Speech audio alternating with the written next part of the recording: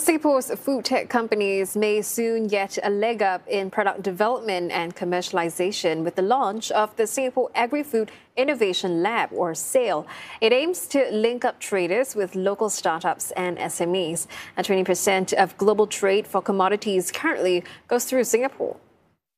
The trading community here has also expanded its presence beyond trading to include other activities such as manufacturing as well as research and development, including generating significant economic benefits to Singapore.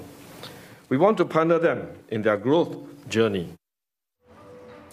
SAIL will enable traders and partners to jointly develop new solutions and products. Uh, this is one of its focus areas, which includes sustainability, digitalization, and agri food productivity and quality. 22 industry players are already on board to catalyze innovations like this plant based mayonnaise made without eggs.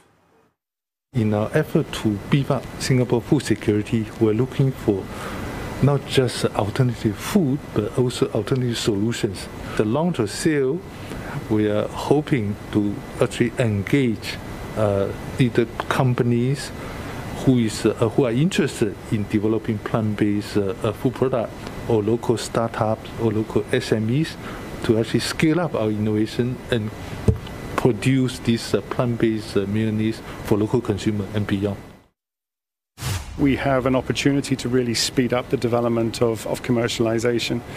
I think you know one of the challenges that we've we've seen over the last year or two um, is the, the the rapid development of the trends, the consumer trends driven by COVID, uh, and because of that, I think what we're seeing is is a need to react even faster. So for us, SAIL is a great platform uh, to augment our strong R&D f- facilities.